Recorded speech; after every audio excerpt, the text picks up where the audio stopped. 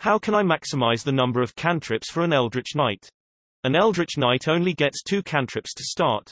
This is very limiting. Is there a way to get more cantrips to increase the Eldritch Knight's utility and flexibility?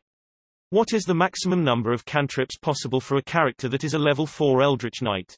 Assuming a single-class Eldritch Knight EK for base of two cantrips. Start as a high elf for plus 2 dex, plus 1 int, and any cantrip from the wizard's list. This is more optimal for an EK than starting as a tiefling. At level 4 select the Magic Initiate feat to gain 2 cantrips and one first level spell. For a total of 5 cantrips at level 4 plus a bonus spell from Magic Initiate.